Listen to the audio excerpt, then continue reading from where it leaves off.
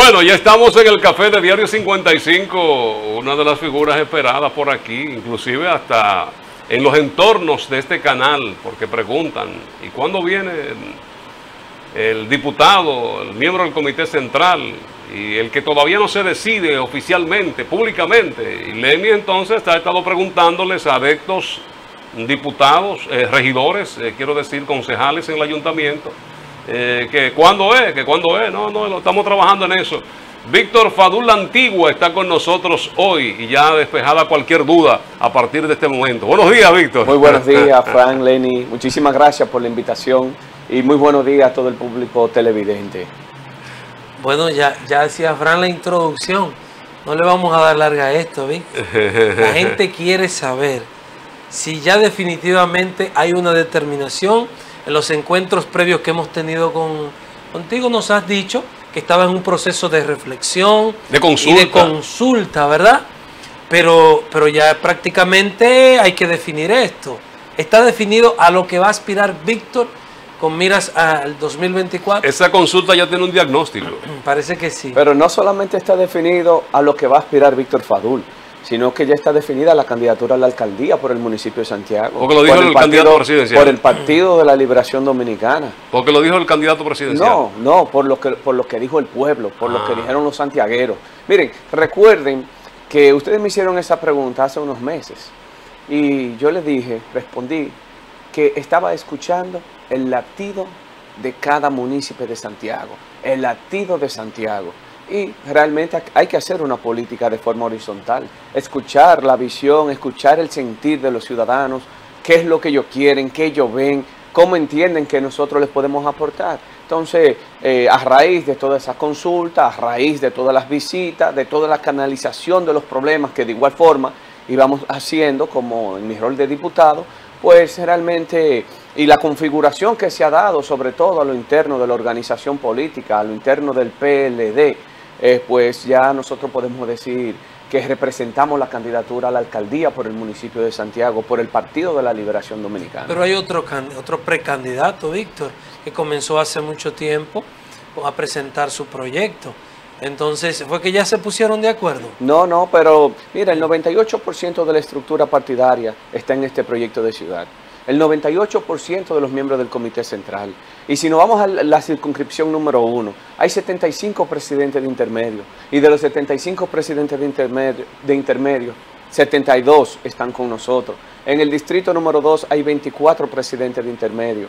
Y de los 24, los 24 presidentes de intermedio están con nosotros. Y en el distrito electoral número 3 hay 34. Y de los 34 hay 31. Pero también así lo reflejan todas las encuestas. Es decir, lo que pasa es que nosotros siempre hemos estado en contacto permanente con nuestros electores, con los municipios, con Santiago, con los diferentes sectores, con los gremios, escuchando, canalizando, eh, siendo un ente de intermediación entre las instituciones y los diferentes segmentos de la sociedad, buscándole soluciones permanentes, no solo en tiempos de elecciones, no solo en tiempos de campaña, que eso es lo que reclaman estos tiempos, un político que esté permanentemente dándole el frente con compromiso, con voluntad, con, co- con coraje a la ciudadanía. Y eso es lo que nosotros hemos estado haciendo desde el inicio. Recordemos a, la- a la- los televidentes cómo es el método que se va a utilizar dentro del PLD para la selección, la selección de su candidato a la alcaldía de Santiago. No solamente a la alcaldía, bueno, a- a- por encuesta. El método es por encuesta y los regidores van en un proceso de elecciones eh, de, de internas eh, con un padrón cerrado. El otro competidor, Jeffrey, hacía casi a modo de reclamo, la última entrevista que tuvimos con él, que si había otro, otro eh, precandidato, él, él pedía que presentara sus propuestas. Porque parte del proceso que él ha hecho, dar a conocer su, su marca política, eh, darla a conocer más ampliamente, también ha venido acompañada de las propuestas que él tiene para Santiago. Víctor ya tiene diseñadas sus propuestas para Santiago. Totalmente. Totalmente. Pero no son inventos mis propuestas. Mis propuestas salen del No son seno, inventos. Son, sale del seno de los santiagueros, de lo que nosotros escuchamos en las juntas de vecinos, de lo que hemos escuchado con los empresarios, de lo que quieren en cada sector. Y es más, nosotros vamos a hacer una política y una campaña con responsabilidad. ¿Por qué, Frank? Porque hay muchas personas que no creen en los políticos. Y es tan así que a los sectores que voy, con las juntas de vecinos, con los gremios que me reúno, estoy dispuesto, y ya lo he hecho, firmar un documento de promesa donde yo asumo un compromiso y le dejo eh, una carta de compromiso a la comunidad o a la junta de vecinos y yo me llevo otra. Eso nosotros lo vamos a subir en una plataforma digital. Y a partir del 2024, las juntas de vecinos, los santiagueros, es decir, todos los segmentos de la sociedad, todo, el que tiene, incide en el municipio va a poder comprobar si las promesas de campaña nosotros le estamos cumpliendo o no le estamos cumpliendo, para que al final de la gestión Santiago pueda pasarnos balance, porque esto hay que tomarlo muy en serio. Mira, una de las cosas que nosotros hemos escuchado en todas las visitas que hemos hecho es que los santiagueros no quieren que Santiago retroceda, sienten ese temor. Recordemos que en el año 2016 el compañero Abel Martínez asumió a Santiago declarado en estado de emergencia sanitaria. Aquí no habían inversiones. Aquí había, nosotros mismos habíamos perdido el orgullo que sentimos por ser santiagueros. Y ustedes pueden dar fe y testimonio de eso. Y ese es el temor que tienen los santiagueros. No hay una sola visita, no hay un solo lugar, no hay un solo sector que yo visite que no me expresen esa preocupación. Y por eso nosotros le damos seguridad a los santiagueros de que en Santiago se va a mantener limpio, de que Santiago se va a mantener en orden y nosotros lo vamos a llevar a un siguiente nivel. Mira, tenemos 10 ejes temáticos para nosotros eh, desarrollar durante la gestión que vamos a encabezar a partir del próximo año 2024. Entre ellos está salud mental, la movilidad, el tema del tránsito, que es muy preocupante para los santiagueros. Y eso no me lo invento, sino es lo que yo escucho, es lo que yo puedo observar.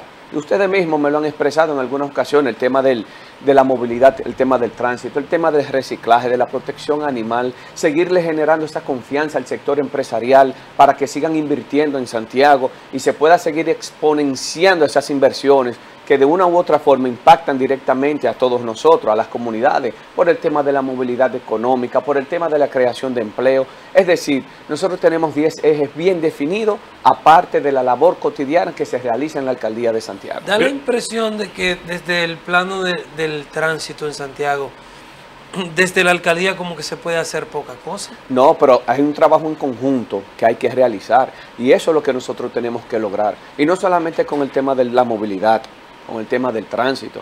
Yo creo que hay que instaurar mesas de diálogos, de consenso, pero de igual forma con el tema del turismo, de la cultura, de la historia que tenemos en Santiago. Nosotros tenemos que exponenciar todo eso para sacarle provecho. Y más ahora que estamos esperando que la carretera del Ámbar pues las comience y que ya lo había expresado aquí de igual forma. Pudimos ver esta semana el vuelo que llegó directo desde Madrid al Aeropuerto Internacional del Cibao. Entonces nosotros tenemos que ir pensando en el futuro, planificando, estructurando, esquematizando qué es lo que vamos a hacer con Santiago, cuáles son las bondades que vamos a vender, cuáles son, eh, mira, cuántas cosas no tenemos nosotros en nuestros sectores. Vamos a crear ese corredor turístico, folclórico, gastronómico, histórico, cultural, para sacarle aprovechamiento. Y de igual forma eso genera movilidad en los diferentes sectores y podemos ayudar a mejorar la calidad de vida de nuestros ciudadanos. Es decir, nosotros tenemos un plan bien definido, bien claro, un norte, un objetivo claro y Santiago a partir del 2024 seguirá por los senderos de la estabilidad, del desarrollo y del crecimiento económico. Mira los emprendedores, por ejemplo. Mira los emprendedores, nosotros vamos a ayudar y a fortalecer. Queremos crear un voluntariado desde la alcaldía que trabaje con el tema del reciclaje, del tema medioambiental, la arborización de la ciudad. Es decir, hay un plan bien definido que se va a ejecutar a partir del año 2024, pero eso es gracias a la gestión del compañero Abel Martínez que nos va a permitir a nosotros llevar a Santiago a un siguiente nivel. Se estableciendo las encuestas eh, para la elección de los candidatos, eh, Víctor, eh, ¿estas serán con el padrón o serán abiertas? Abiertas. Son abiertas. Abiertas. Ah, bueno, porque como tú mencionabas que la estructura del partido está contigo, pues quizá hay una brecha y una posibilidad para, para tu contendiente. No, no, mira, lo, lo demuestran las encuestas, todas las encuestas todos los estudios que nosotros... Fuera, fuera de, de, partido. Fuera del general, que nosotros hemos podido ver nosotros representamos la candidatura y no solamente la candidatura, sino la continuidad de la obra del compañero Abel Martínez a partir del año 2024. Hacías referencia al tema de la cultura. La semana pasada nosotros tuvimos por aquí un invitado especialísimo para nosotros, un gestor cultural del calibre, su nombre, del calibre de su nombre, Lincoln López. Claro que sí. Y él de algún modo hacía una, una crítica con mucho nivel a que desde la alcaldía pareciera que lo, lo único que es cultura es pintar en paredes murales y que al, al sector, a la gente que trabaja en la cultura, no se le está dando el respaldo, no se está dando la proyección.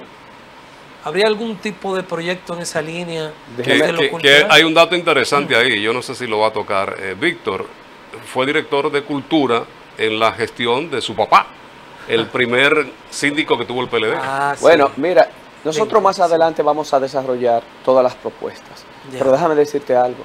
Don Lincoln, que le tengo mucho aprecio, mucho cariño, es parte de nuestro equipo técnico eh, que está trabajando con nosotros todo lo que tiene que ver el tema de las propuestas, que nos acompaña de igual forma y permanentemente pues nos estamos reuniendo para nosotros diseñar todos los planes que se van a ejecutar en Santiago. Ah, eso, es para Es que no, decir, eso es para que no preguntemos más. no, no, es, un, es un gran equipo, es un gran equipo de hombres y mujeres que ya nosotros tenemos conformado para trabajar por el bienestar de Santiago, pero sobre todo de las necesidades y de la visión que hemos escuchado de todos los sectores. Ya, ¿tú, tú entiendes que, que los procesos se van a llevar en el PLD de una manera transparente, de una manera Totalmente. calmada, que no se generarán más fisuras, digamos. Yo espero y estoy totalmente confiado en eso. Yo espero y estoy totalmente confiado en eso. De que eh, ya imagino que dentro de los próximos días, meses, no sé cuál va a ser la decisión que se va a adoptar. Bueno, en los próximos días, de igual forma, eh, ya es la inscripción de las candidaturas, de todas las candidaturas. Pero nosotros esperamos que ya salir de este proceso de la mejor manera posible. Ahora bien, a los santiagueros y sobre todo a los compañeros ya tienen bien definido y bien claro quién representa la alcaldía a partir del año 2024. Permíteme una pregunta que quizás eh, a quien más le convenga que la haga es a usted porque han corrido unos rumores y yo creo que puede ayudar la pregunta a aclararlo. Se ha insinuado que la postergación, sino, para no llamarle tardanza, en el lanzamiento oficial de la candidatura suya, obedecía que Víctor estaba esperando a que se confirmara el apoyo de un sector importante de la Fuerza del Pueblo que está buscando armar un palé en el que el PLD apoye a un candidato de la Fuerza del Pueblo para la senaduría y entonces ellos apoyarle a usted directamente. El nombre suyo fue el único que se barajó, a pesar de que no había dicho. Y que la postergación o tardanza de esta decisión obedecía a eso. Es- Eso, se- se manejó en los corrillos.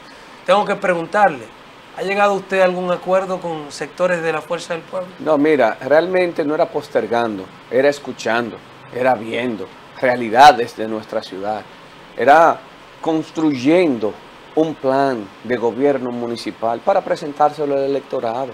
Por eso es que yo digo que esto no puede ser de invento, esto tiene que ser con mucha responsabilidad, porque a partir del 2024, con las inversiones que hay en Santiago, hay que tomar esto muy en serio, pero trabajarlo en consenso con todos los sectores con todos los sectores. Y no estábamos, estábamos esperando era ver el resultado de esas consultas a los ciudadanos que estábamos haciendo, a los diferentes gremios, a los sectores empresariales, a las iglesias, a las juntas de vecinos. Ahora bien, nosotros seremos el alcalde de todos, Dios mediante. Ahora sin quitar eso, Víctor, sin quitar eso.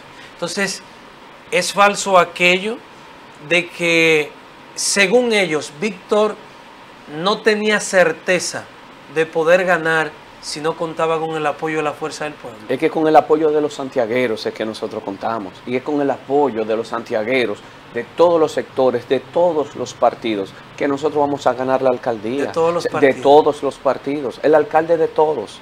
El alcalde de todos.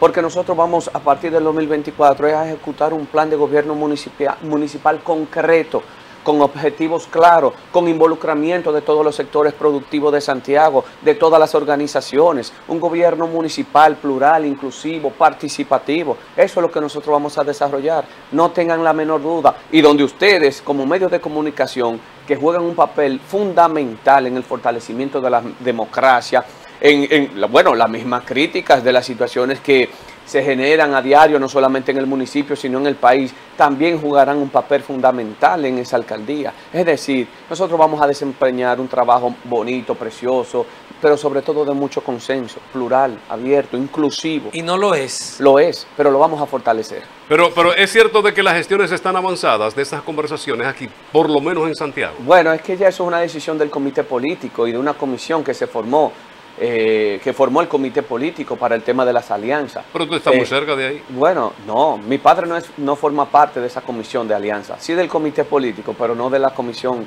de alianza, que le encabeza el señor presidente Danilo Medina, nuestro candidato y próximo presidente, el compañero Abel Amarante y así sucesivamente.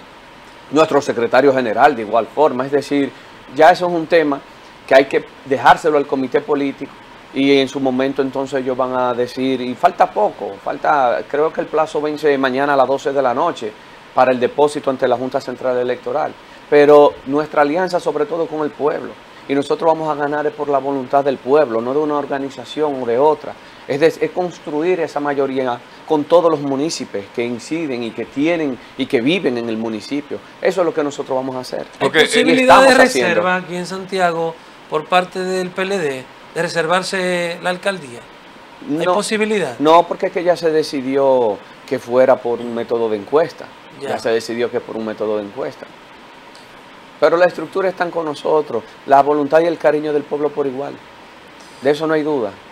Pero eh, eh, esa, esa denuncia que se hizo en una oportunidad, Víctor, de que había influencia, de que había una incidencia sobre ti eh, para llevarte como candidato, podría también eh, el, el mismo partido, pues, eh, ir un poquito más allá y que, y que sean esas negociaciones para que Víctor Fadul sea el, próximo alcalde de Santiago, que uno entiende eh, puede ser una de las vías, porque hay un posible candidato que tenga la fortaleza del mismo gobierno. Sí, no, pero por eso yo le digo que vamos a ser el alcalde de todos. Y de adelantar o no, son decisión del comité central de nuestra organización, que en una reunión pasada, en una asamblea, pues en base a votación, tomó una decisión de que fuera por encuesta. Ahora bien, todo lo que sea para el beneficio de retener la alcaldía, de fortalecer al partido, de apoyar a que el compañero Abel Martínez se convierta en el próximo presidente de la República, yo lo respaldo.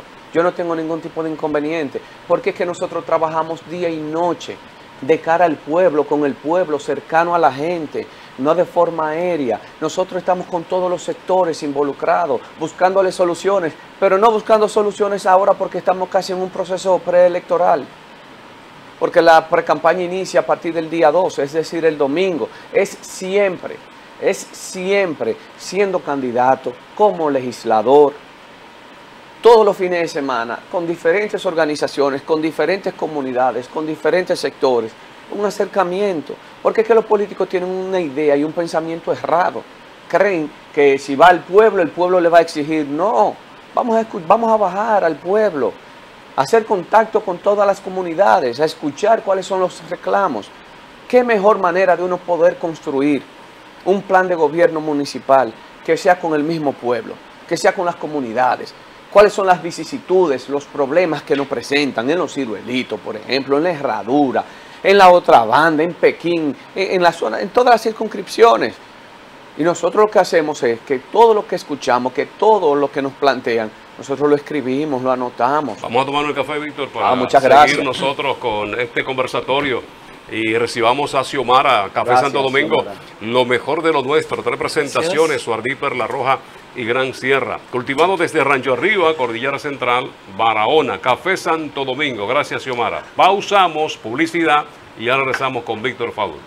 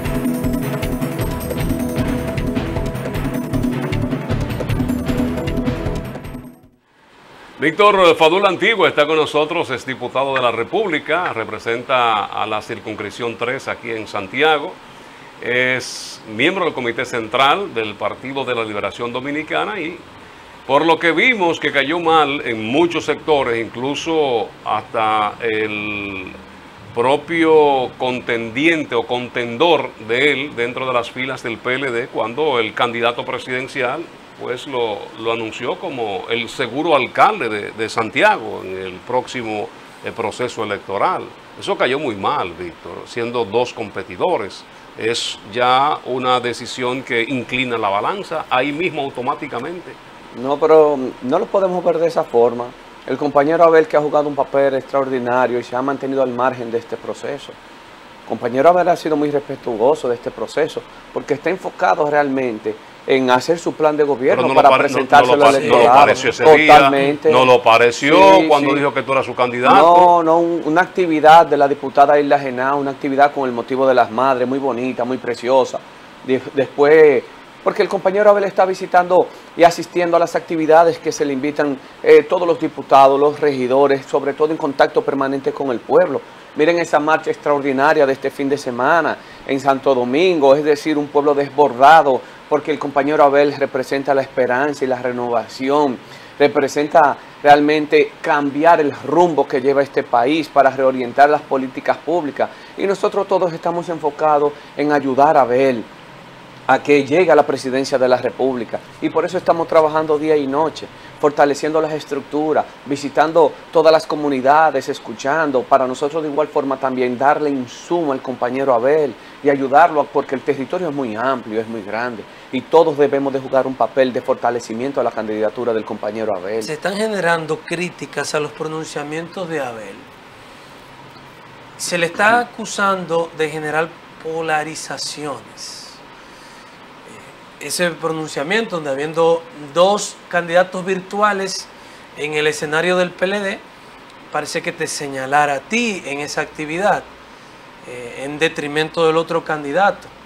Pero eh, esta semana volvió a dividir la sociedad y, hablaba de que iba a ser un gobierno para los guau, los guau, guau, guau.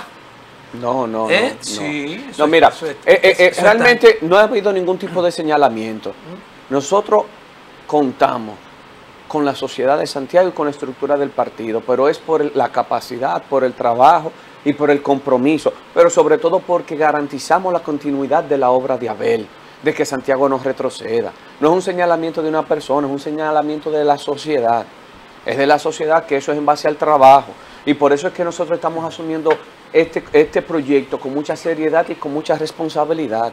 Y con relación a las declaraciones de Abel, él no dijo que va a trabajar para los guaguaguá, que va, no, que va a trabajar para los popis, que a mí no me gustan esos términos, porque Abel va a ser un hombre que va a trabajar para toda la sociedad dominicana, para toda la, la sociedad, para todos los segmentos, para todos los sectores. Eso fue lo que dijo el compañero Abel, y yo lo respaldo. Aquí hay que trabajar para todos. ¿Eso no fue lo que trascendió, Víctor? Bueno, eso fue lo que quizás no se interpretó de la forma correcta, pero incluso en los titulares del periódico y las declaraciones dice, trabajará para los popis y para los guau pero se enfocará más en los guau Eso fue lo que dijo el compañero Abel. Predilección por los guau No, pero hay que prestarle mayor atención a las personas que presentan mayor vulnerabilidad. Y eso no está en discusión y eso es evidente que hay que prestarle atención.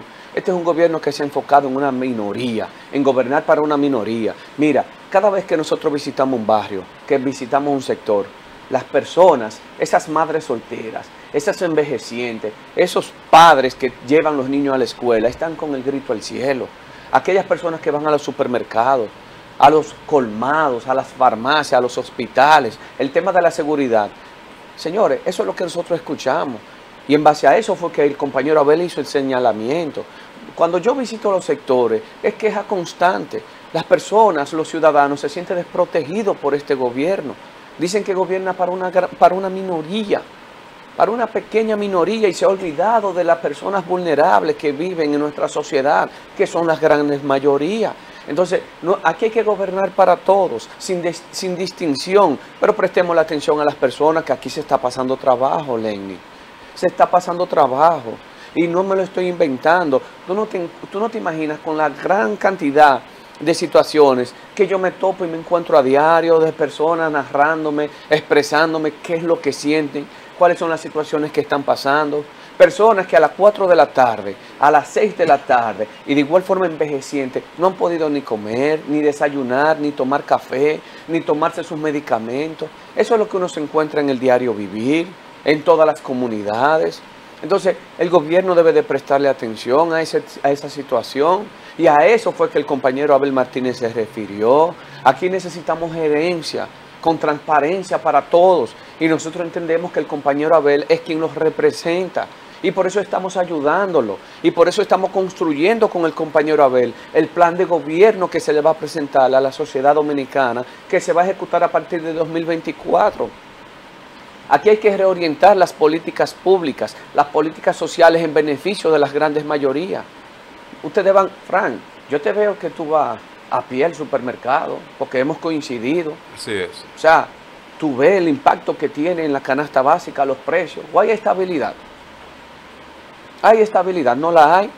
Hoy un, hoy un producto te puede costar algo y mañana tiene 10 pesos, 15 pesos más. Ya, pero ya hemos visto que la semana pasada a través de los medios de comunicación ya se está importando azúcar. Señores, vamos a importar todo.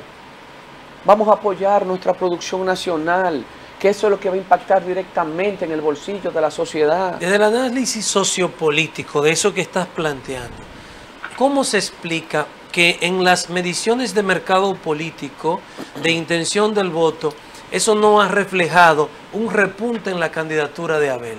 No, mira. Sigue por debajo del 20%. No para nada.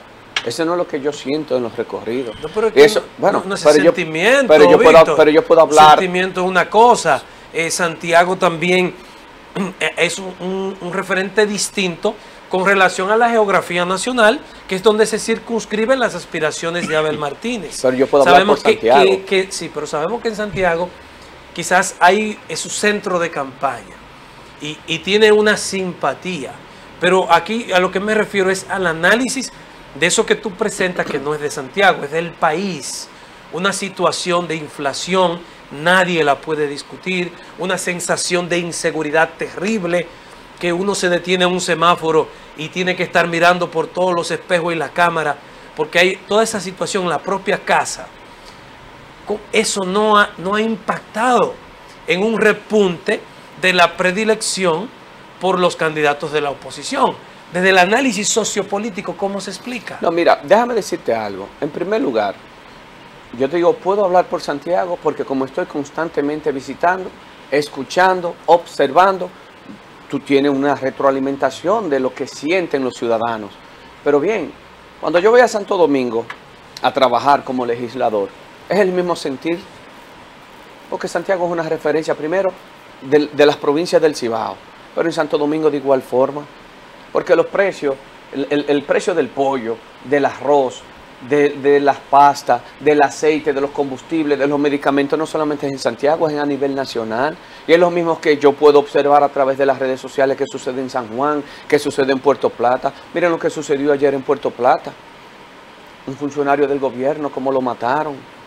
Pero vimos que después esas mismas personas delincuentes siguieron eh, ocasionando situaciones en Puerto Plata, pero también pudimos ver en Higüey una situación. Eh, o sea, es a nivel nacional. Eso por un lado. Ahora bien, ¿cuál es el reclamo de la gente? La inflación, la seguridad, la falta de oportunidades, la falta de empleo. Los jóvenes, cuando me reúno con los jóvenes, que de igual forma escuchamos cuando van a la Comisión de Juventud el tema de las becas. ¿Se ha vuelto a escuchar una beca que se ha dado en la República Dominicana para los jóvenes? Sí, Sí, sí, ¿de qué forma? Eso es tema. Cuando antes no se le preguntaba a nadie, a ningún joven, a qué partido usted pertenece, Ah, la forma en que se, se sorteaban las becas, en la forma en que se sorteaban las obras.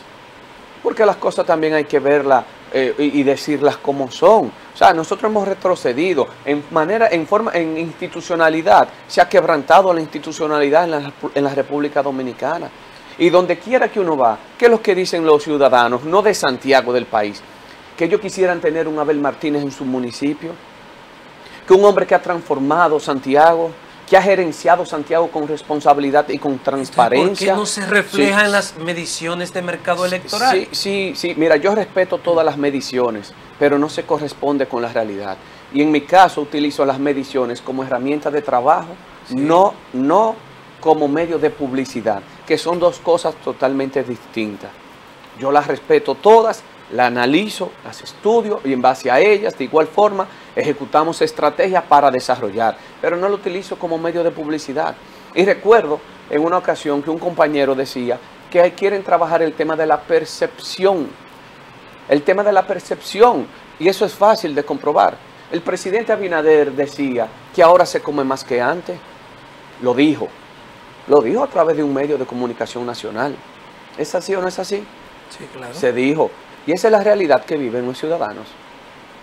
Cuando uno va a un sector y abre la nevera de cualquier ciudadano y la nevera ni agua tiene, lo he vivido, lo he podido ver. Es el reclamo que tengo y que tienen los ciudadanos.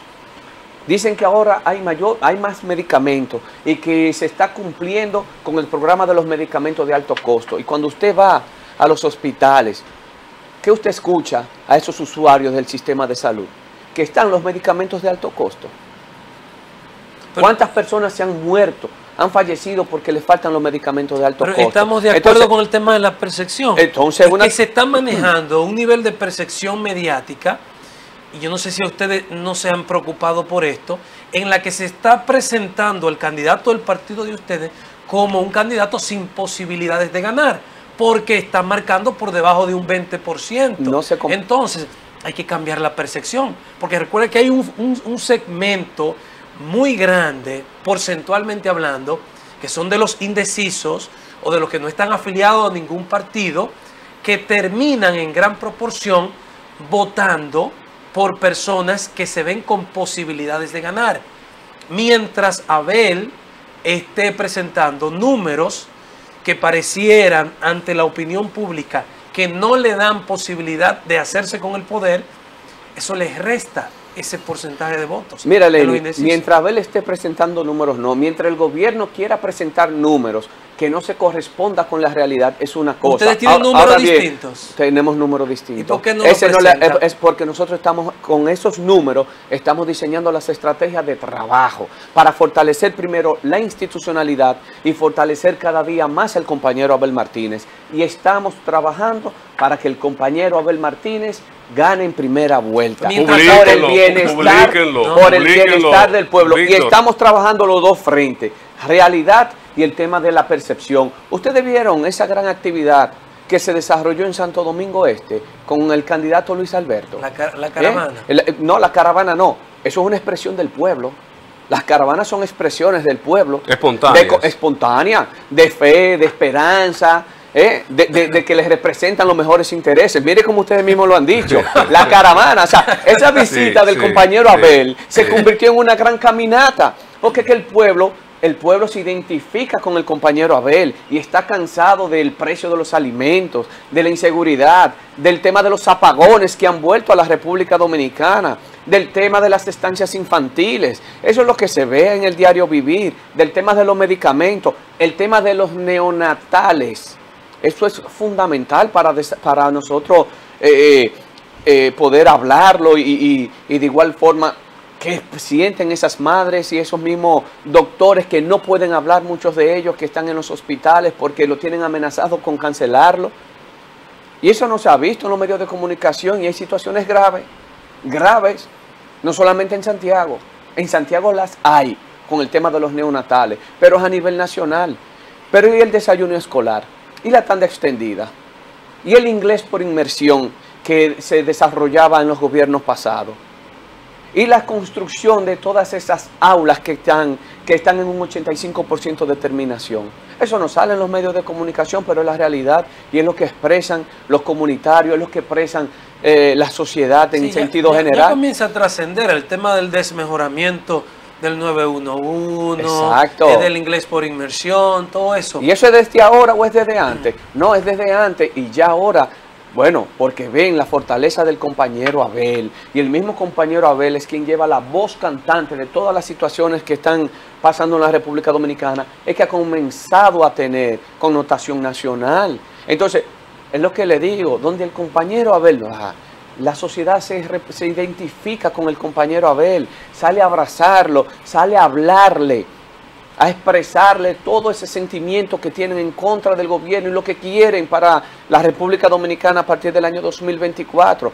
Tuve la oportunidad de acompañar al compañero Abel en el recorrido por la sierra y lo que narraban las personas realmente eh, nos daban en el sentimiento y nos daban en el corazón de todas las situaciones que están pasando. Madres solteras que ya no pueden mandar sus hijos a las escuelas, los usuarios de, lo- de los centros de salud, lo olvidado que están todas la, todas las zonas, toda la sierra, el tema de las calles que nosotros asfaltamos toda la sierra en los gobiernos del PLD, ya como están, el descuido de todas las instituciones, la falta de oportunidad, la falta de empleo, la falta de los planes sociales. No tienen alguien quien les represente, no tienen alguien quien les dé soluciones. Hablan de todo y se lo expresan al compañero Abel. Miren, nosotros estamos trabajando para que el compañero Abel gane en primera vuelta. Víctor, no si- tengan la en menor primera duda vuelta. en primera en vuelta. primera vuelta. Si el posicionamiento de ustedes es tan bueno, ¿cómo se explica entonces de que muchos eh, directores distritales, alcaldes, entonces están dando el paso? Porque quizá no ven un futuro halagüeño dentro de la organización. Allí sí le garantizan el que puedan repetir en las posiciones en que están ahora. Bueno, Frank, déjame decirte algo. La mayoría de los alcaldes y, director, y directores que se han ido, en las encuestas de ellos mismos, esas que ustedes dicen, no están bien posicionados. No. Es buscando una esperanza, es buscando oxígeno que ellos están. Esa es la realidad. Miren las situaciones que se están presentando entre ellos mismos. Donde hay una reserva para un alcalde o un director que se fue, el compañero de esa organización que ha competido, que eran rivales antes en cuanto a la posición, hay una inconformidad grandísima. Y eso es lo que nosotros escuchamos y estamos observando. Por lo menos yo puedo hablar de la provincia de Santiago. Por la provincia. Ahora, hay que respetar la decisión que adopte cada quien. Sus razones tendrán. Ahora, bien posicionados no están en esas mismas encuestas que ustedes dicen que el tema de la percepción versus la realidad, en esas mismas encuestas. Por eso es que las encuestas hay que analizarlas, hay que estudiarlas y utilizarlas como un método de trabajo, no un medio de publicidad. Esa es la gran diferencia. Es, es- una gran inyección de oxígeno, como dices. Si tú no lo ves desde el plano, desde el plano matemático, si hay un ex compañero de ustedes del PLD que, se le garantiza la posición con el apoyo del PRM, que parece que es el partido mayoritario en este momento, hasta este momento parece ser el partido mayoritario desde las últimas elecciones hacia acá, si tiene el respaldo de ese partido más un segmento que le apoya porque son alcaldes, directores distritales, tienen equipos de trabajo con ellos, tienen gente que quieren conservar los empleos y esa gente tienen familias y también ellos tienen sus comités de bases. Cuando uno lo ve desde ese plano, Víctor, es una buena inyección de oxígeno. Mira, déjame decirte varias cosas. Número uno, todos los días entran cientos y miles de jóvenes y personas a la organización del PLD, al PLD. Y no es verdad que el PRM es la organización de mayor fortaleza. La única organización que tiene arraigo en todos los segmentos sociales en la República Dominicana se llama el Partido de la Liberación Dominicana. Bueno, pero es el No. partido mayoritario. No, no. Como ustedes lo fueron desde el 2004 hasta el 2020 sin discusión. No, y si vamos a las elecciones, este es un gobierno de minoría. 27 de cada 100 dominicanos votó por el PRM. No es un gobierno de mayoría por la gran abstención que hubo en el año 2020. Y eso está ahí. Por eso, o sea, analizando los datos. Número 3. Cuando usted me dice que representa la alcaldía, ¿a quién le ganó ese- esa persona? A un PRMista a un PRMista. Lo expresan los mismos PRMistas en los pasillos. Es más, hasta en el mismo comedor de la Cámara de Diputados, cuando nos toca la hora del almuerzo, es lo que ellos se expresan y dicen, ese que vino ahora, que no piense que va a contar con el apoyo de nosotros. Porque se han enfrentado por, en varias elecciones, en varios procesos. Y lamentablemente, en ocasiones se llega hasta términos personales.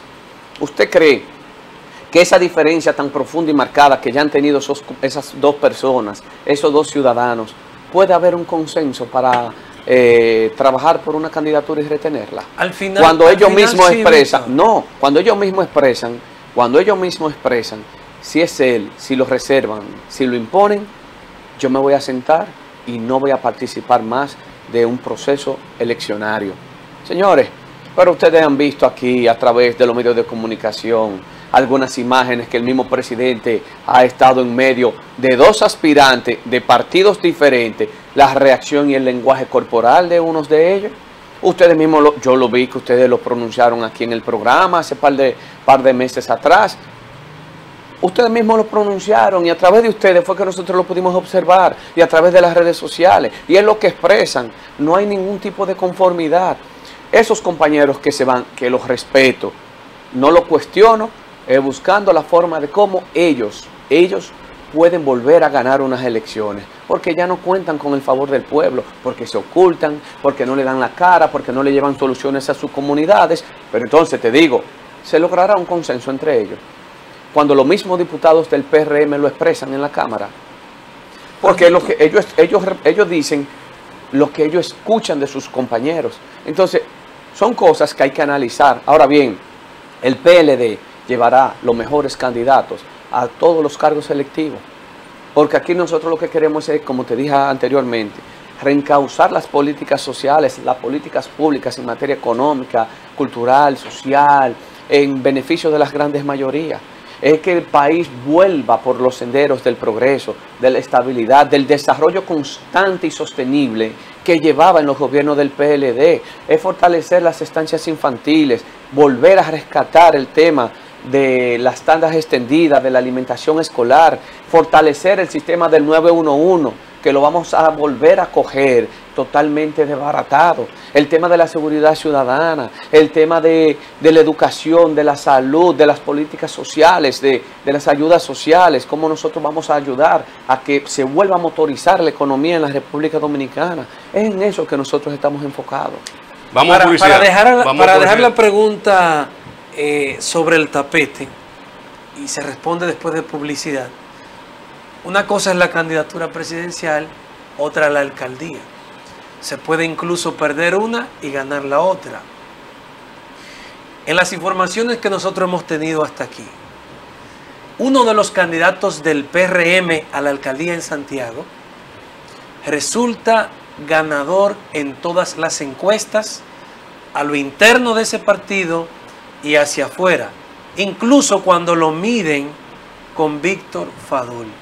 ¿Qué le hace pensar a Víctor que puede ganarle a la candidatura del PRM? Responde después de la pausa.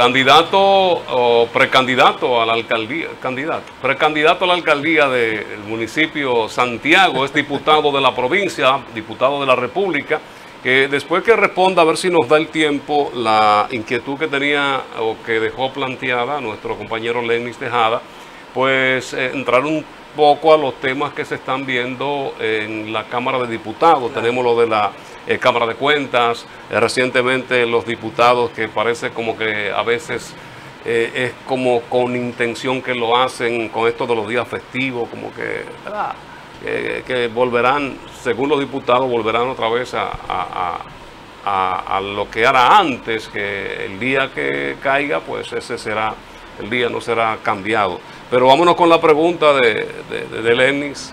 Está ahí planteado porque Víctor entiende que puede eh, vencer la oposición, en este caso de principal contrincante, que todo da a entender que es del Partido Revolucionario Moderno.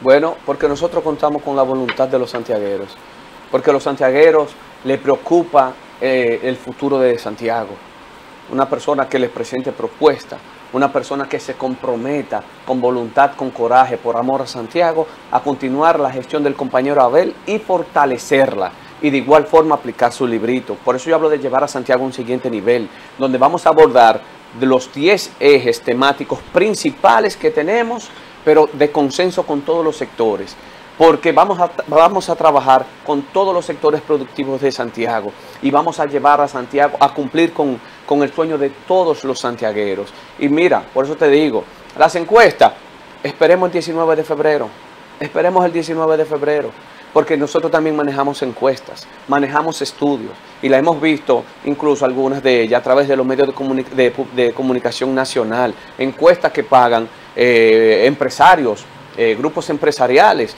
y donde realmente nosotros estamos bien posicionados y hay algunas de ellas que estamos por encima. Es decir, nosotros vamos a ganar la alcaldía, pero con el favor de los santiagueros, de todos los sectores, el alcalde de todos, créalo, que así será. Cámara de Cuentas, eh, rápidamente, eh, Víctor, estamos en los minutos finales. Vimos la decisión de la comisión recientemente, el pasado fin de semana. Eh, de los PRMistas y aliados están todos de acuerdo de que se han llevado a un juicio político. El PLD y la Fuerza del Pueblo se oponen. No, mira, yo me comuniqué con el presidente de Cámara de Cuentas, el, diputado Rogelio. Ah, ah bueno, el presidente de la comisión. De la comisión de Cámara de Cuentas, Rogelio Genao.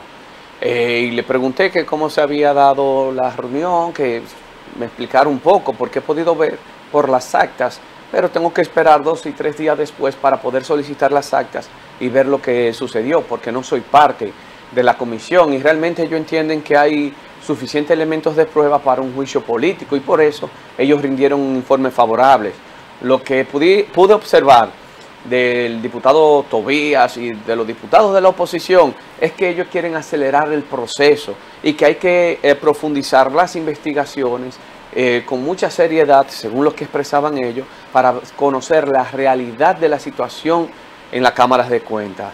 Eh, de igual forma anoche me comuniqué con él, me dijo que ya se va a rendir informe, el informe, que en los próximos días ya llegará al departamento correspondiente para que llegue al hemiciclo y cuando llegue al hemiciclo, entonces nosotros debatir cuál va a ser la suerte que va a tomar ese informe favorable a, un juicio político a la Cámara de Cuentas. Pero vamos a esperar esta semana, nosotros tenemos sesión el día de mañana y pasado.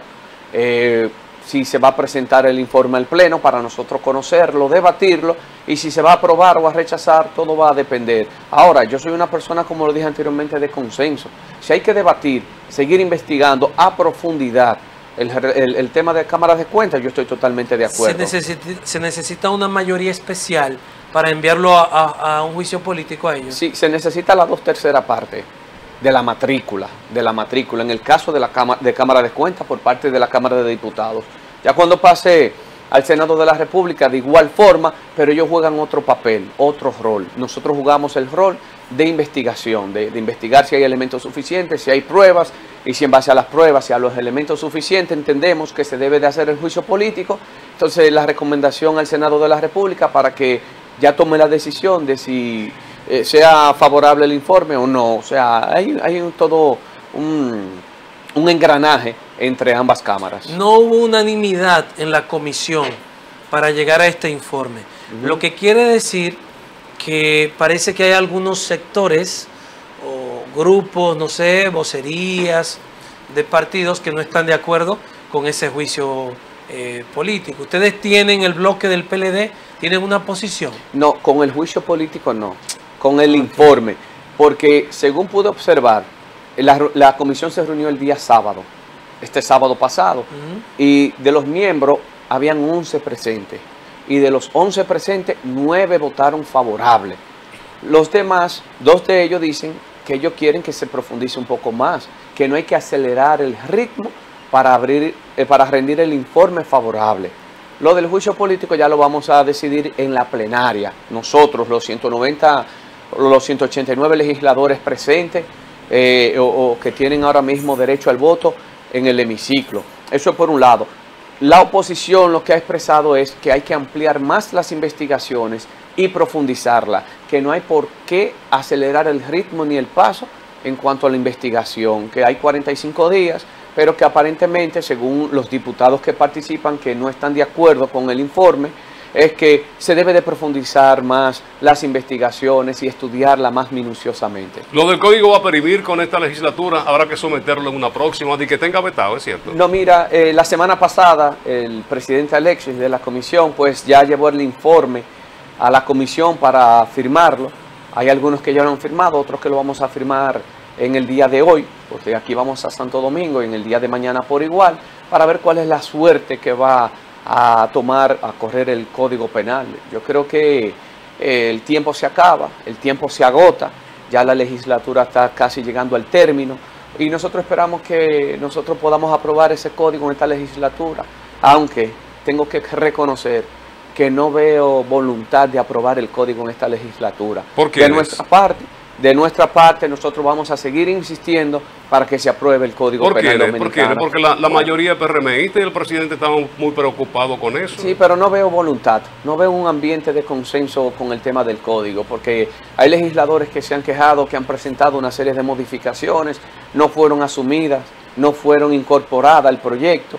Entonces hay una serie de inconformidades con relación al Código Penal y por lo que veo, a menos que esta semana o la próxima no se pueda consensuar esos aspectos, no veo voluntad de aprobar el código en esta legislatura. cuando se, el presidente de la República solicitó la, la legislatura especial eh, para febrero, ¿verdad? Febrero-marzo de este año, pues todo lo que se hizo creer a la, a la, opinión pública es que ya el consenso estaba creado y que lo que faltó fue tiempo para el proceso de sometimiento. Entonces ahora resulta que no.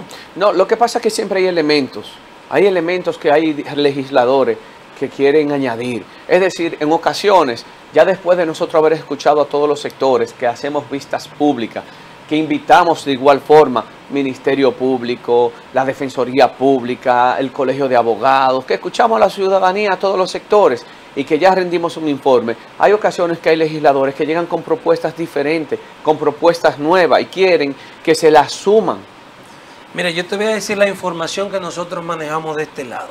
Tal vez tú nos pueda ayudar a, concretizar.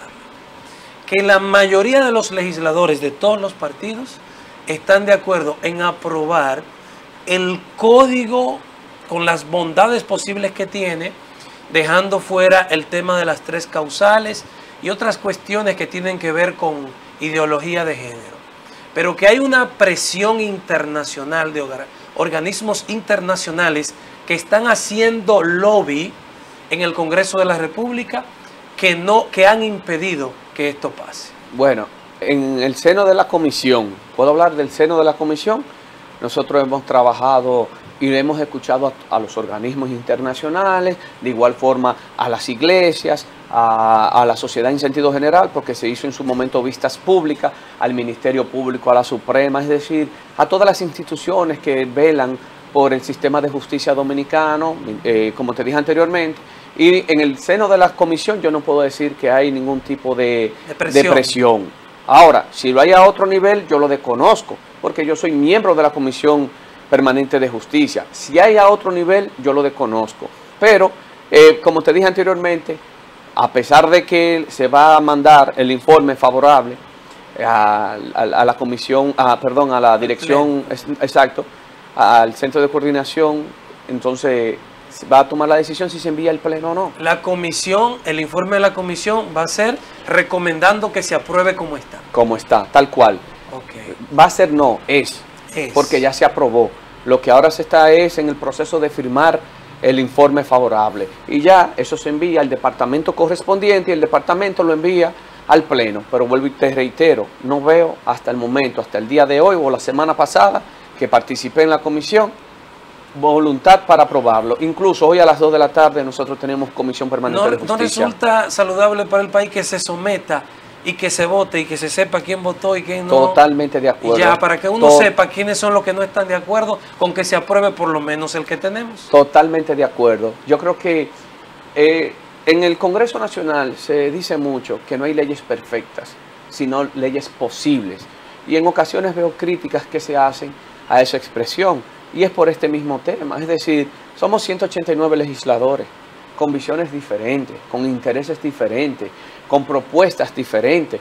Los 189 en ocasiones queremos que se asuma la propuesta de nosotros y no es posible. Por eso hablamos de leyes posibles, porque es en base a consenso que se construyen esos proyectos. Ahora bien, ¿qué es lo que yo le digo a la ciudadanía? Que nos exijan a los legisladores. Vamos a aprobar el código, vamos a aprobarlo y si hay que reintroducir una modificación posterior para mejorarlo, pues lo hacemos, pero vamos a aprobarlo, que se comience a ejecutar y, en- y- y el diario vivir, el diario vivir, la aplicabilidad del proyecto, del código nuevo, nos va también a nosotros a dar una retroalimentación en que tenemos que fortalecerlo, porque la sociedad es cambiante.